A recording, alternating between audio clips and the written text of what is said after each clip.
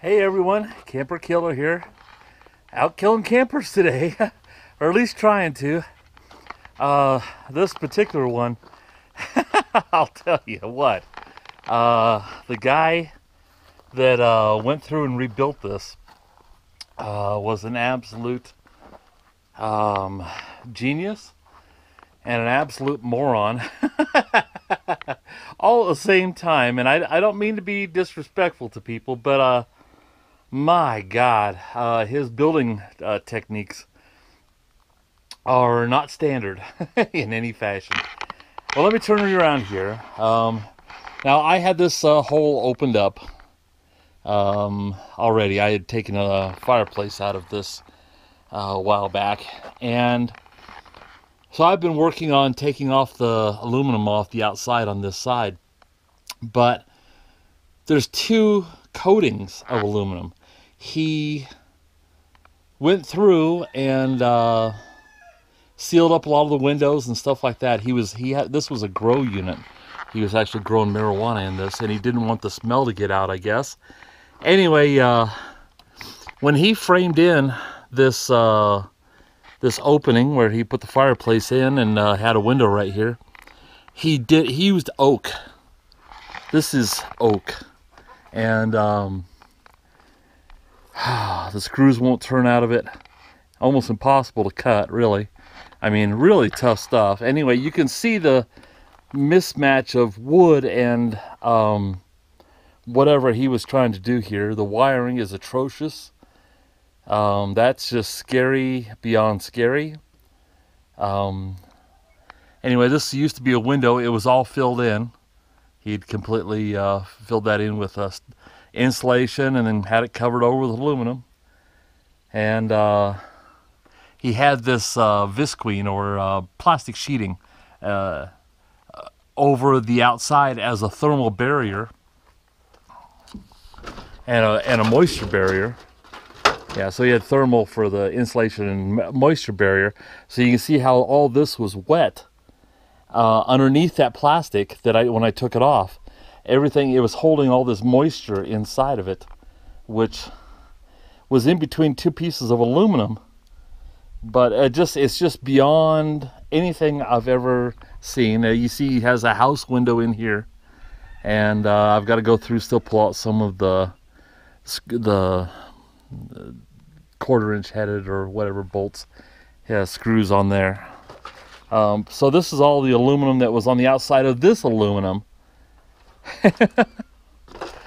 so double the aluminum. I guess we get double the value here. Um, same with this here uh, this this is the aluminum that he had up over the top of it. And underneath there is a piece of plywood where he had sealed off the back window. And underneath that is another piece of aluminum. And that's what this is.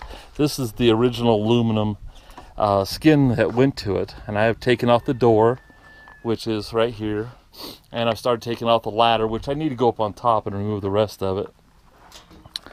So and of course this edge is folded over right here so I have to go through and pry all that out to uh, both pieces are folded over on the on, uh, to the back side so I had to peel both those off. Still have to get the windows out of this side and a few other little items but everything is so caulked up and glued up and tarred up I mean it is just I knew this one was going to be bad I knew it was going to be tough but I had no idea uh, till you really get into it. I had no idea that he went and put another whole siding, pieces of siding over the original siding. He just resided over the top of it. And it's not even a great job. I mean, I, I, I, mean, I could see if he made it look perfect and it was just a turd underneath, like polishing a turd. But it well, it's not even that attractive, really.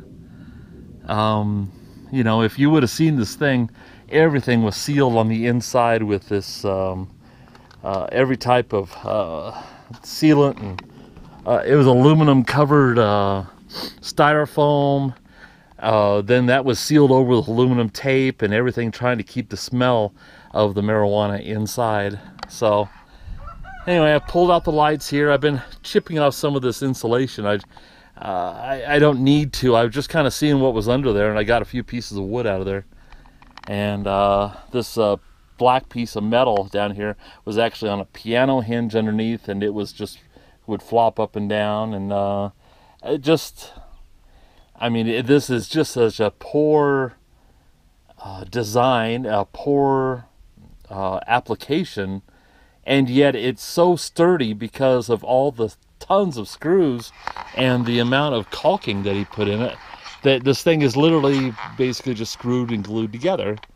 And uh, so i get to try to decipher what he did and of course try to go backwards on it. So i've got pull windows next out of the inside uh, I got to get start getting this other side opened up. But anyway, we'll get the whole thing uh, skinned, get the windows out of it, the doors already off of it, We'll get the thing skinned uh, and the windows out, and then uh, bag up all the insulation, and which will be a lot. He really insulated the hell out of it. Uh, I've got to get. There's a broken refrigerator on the inside. I've got to get out, and I have a chair sitting in there uh, from another RV. Need to cover it in plastic and get it put in the in the area where I sell parts, and basically go through and just keep tearing this thing down. Hopefully uh, by Friday. Hopefully by Friday. Well, today's Tuesday, Wednesday, Thursday. Yeah, two more days. Hopefully, we'll have uh, have it skinned and uh, maybe emptied out, and uh, who knows? Maybe even tear the roof down, get it dropped to the ground, and then uh, we disassemble the roof and get it all tore apart, and um, get it down. And I've got to get the wood floor off. That would be the last thing I do, and and uh, whatever else is underneath. But I get this one down. Um, it's kind of nice on this one is that when I get this vehicle uh, all tore down, I can move the frame out into the field to sell it. Uh, where I put them in a row when I'm out there selling. I've got a, a, few of them out there to sell. That um, it actually opens up. There's a RV on this, this side over here and there's an RV over here, and uh, they're next. And I could put the pull the trailer. And my mom even mentioned this because uh, she's she keeps track of what I'm doing out here, and she had mentioned, yeah, you can back the trailer right in between and scrap out from both sides, and it's true. And uh, so this one's going to be a big load of lumber. Uh, you know, probably another forty dollars or more at the dump uh, to haul this one off, and then the other two will come out to about another $40 loads to the dump. And uh, but if I can get all three of these uh, campers done, uh, the two on the ends are basically already tore down, just down to the wood. Uh, Got to pull off the wood floors and finish putting all the parts up on those, and then we'll have this whole row done, and we'll have have it cleared out. So anyway, just thought I'd give you a, little view of what the nightmare I'm working on. And uh, I'm, I say I'm already about eight and a half minutes. So we'll get out of here. We'll see you soon.